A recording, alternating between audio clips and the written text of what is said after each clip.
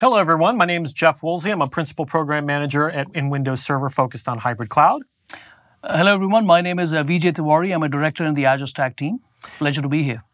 And it's a really pleasure to be here to talk to you pretty quickly here about what's going on in the world of Azure, Azure Stack, and what we're doing across our portfolio of products. So let's dive into that. And I think specifically we're going to focus on the second pillar here, which is hybrid. So Vijay, when we talk about some of the trends in the IT industry right now, probably one of the biggest ones here, in, at least in the Windows Server business, is hyper-converged.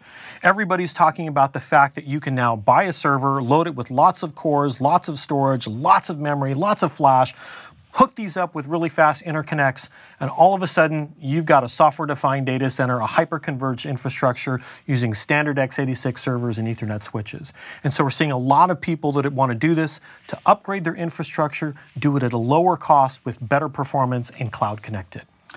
And that's absolutely right.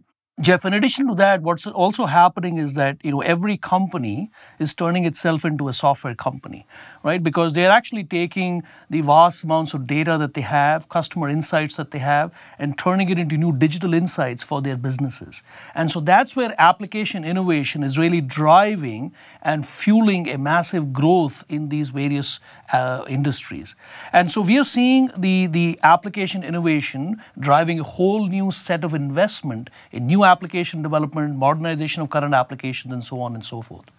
In addition to that, coupled with the application innovation, we are also seeing a trend where customers are actually deploying and managing these applications in a hybrid environment, which effectively means that they're using the public cloud for some assets of the applications and they're using on premises assets for other parts of their application portfolio. And this, we believe, is, is a relevant and persistent foreseeable future state for the industry.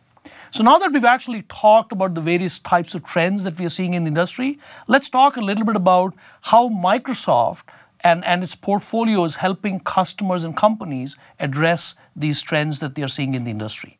So, from a Microsoft perspective, we are one of the largest global public pro cloud providers with Azure, which provides a, an unlimited pool of compute storage and networking, along with a set of advanced platform as a service capabilities, which allows customers to be able to write modern applications without having to worry about the underlying infrastructure.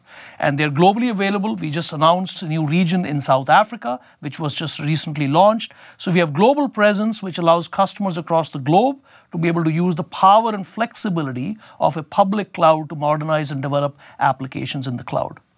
We also recognize that these customers have needs for these cloud capabilities, but they require them in their premises.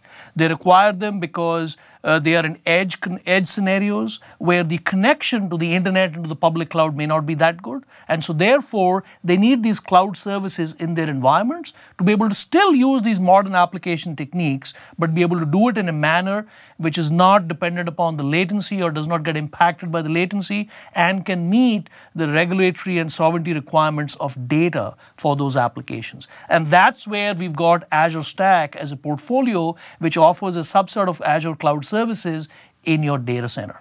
And I, I, think one thing to go along with that that that application is that consistency between you know being able to write applications that are that are that are cloud that can run in Azure as well in Azure Stack, including these disconnected scenarios. Absolutely right, and that's one of the great points that you bring up, uh, Jeff. That you know with Azure Stack, we are intending to provide that consistent environment for developers in their on-premises environment as well. Now, the last thing I want to point out is that you know as customers look at their entire spectrum of portfolio, there are some applications applications which just need to be able to run in an environment that is on premises but don't require to use PaaS services. And for that, we've always had Windows Server, and we're actually taking the next step forward and offering it as an Azure Stack HCI solution, validated solution to customers, so they can run their applications mm. in their environment.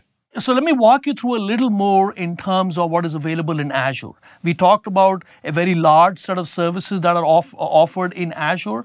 We've got all the things available from artificial intelligence to machine learning to app services to data warehousing to Hadoop. We have a plethora of services that, that developers can use to actually develop modern applications in Azure. And of course, not to forget modern IaaS to be able to use virtual machines in their environment and Kubernetes and containers and so on and so forth.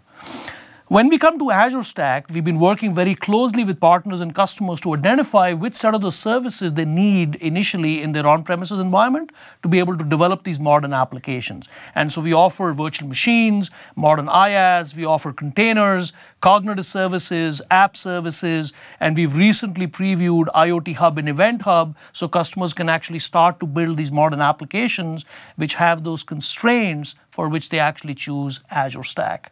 Tell me a little more about how would customers use Azure Stack HCI? So Azure Stack HCI is really to be complementary. And I, and I like the word, you, you keep using the word portfolio because I think the word portfolio is actually a perfect description of what we're doing as how we think about cloud. Um, Azure has all of these rich services. You mentioned, you mentioned the fact that um, you looked at what services made sense to bring on premises.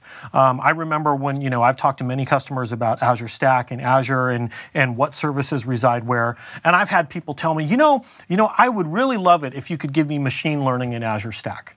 And then I say, great, you, you realize that for us to deploy machine learning on premises, you're going to need at least a thousand servers. And every time the response is, never mind. I don't want that. Leave that in Azure. No, no, I don't want to deal with that.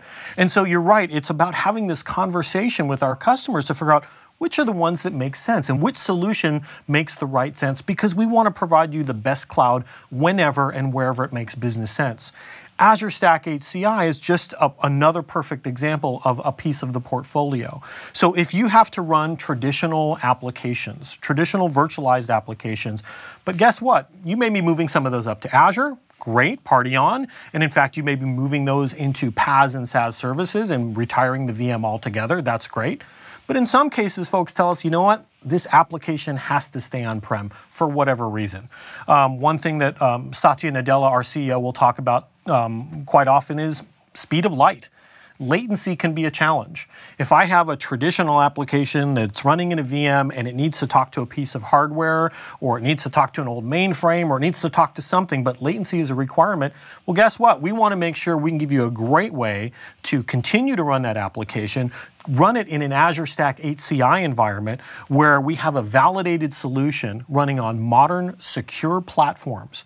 Because one of the things we've noticed that people have older servers. Um, used, used to be people would uh, upgrade their servers every three to five years based on their server leases. Well, in looking at the industry, we notice that people have been holding on to their servers longer and longer. Um, it's pretty often now to see servers seven and a half, eight, even 10 years old. And when you look at a 10 year old server, you don't see things like secure boot, UEFI, TPMs, things that we just take advantage of to give you better security for the platform that you really need to, for, for today's IT. So Azure Stack HCI gives you the ability to run your traditional applications, do it in a secure way on a secure platform on a validated solution. And one of the most important things I want to point out is, you know, if you know our software-defined technologies like Hyper-V, like Storage Spaces Direct, like our software-defined networking, it's going to be like old home week. You're going to feel like, oh, I know exactly how to do this in Azure Stack HCI, and we're going to take advantage of that, that learning, that knowledge you have, your PowerShell uh, knowledge, all of that work, and we're going to help you take that forward and move this into a cloud world so that you can connect it to Azure services to get better backup, to get better security, to get better replication. And so really it's about providing this portfolio of solutions, and Azure Stack HCI is just another, uh, another piece of that portfolio. Yeah, and that's a great point, Jeff. So another example I would give you is if you look at the spectrum of portfolio that we have from Azure to Azure Stack and Azure Stack HCI, let's take the example of a prototypical bank. Uh, this bank is under a highly regulatory environment, so all the customer data needs to reside on premises. However, you know, they, they have the need to run a marketing campaign and they need extra compute and storage to run that compute for the next, uh, uh run that campaign for the next three months or so. That doesn't have customer, you know, uh, customer data like credit card information. So they can actually then build that application in Azure use the flexibility of the public cloud, develop the application, and then retire that compute after three months. For the credit card processing applications, which they want to be able to use on premises, using Azure Stack is a great opportunity for them to be able to do that. And then lastly, for the remote offices and branch offices, where they have some applications that need to run in the various branches that they have across the world, they can use Azure Stack HCI. So here is an example of utilizing the Microsoft's portfolio portfolio across Azure Azure Stack and Azure Stack HCI for a prototypical bank. So I hope that really helps you kind of understand when and why you would be using these different solutions in our portfolio. Um, by the way, when it comes to how to purchase these, how can they get an Azure Stack solution? So uh, with Azure Stack, you know, we've learned a lot from how we actually operate the public cloud. And so the way we actually bring that technology to customers is by the means of an Azure Stack integrated systems. So we have co-engineered these solutions with our hardware partners, bringing forth all our learnings from our public cloud. And we offer customers the opportunity to buy these integrated systems as appliances, which offer the ability for the customer to focus on actually being able to consume the cloud as opposed to be having to build it. So they get all the power of the cloud without all the complexity that goes to actually build it. And Microsoft and the hardware partners take on the onus and responsibility of doing the continuous validation, the continuous uh, support to make sure that we offer the customer these capabilities on their platforms. And when it comes to Azure Stack HCI, we want to provide some of the, the traditional flexibility that we've offered with Windows Server, but we want to do it in a validated solution where we've worked really closely with our partners to deliver a solution that's gone through extra validation, that's gone through stress testing, where we've put all the components together and really tested them to make sure that we have a completely validated solution ready to go.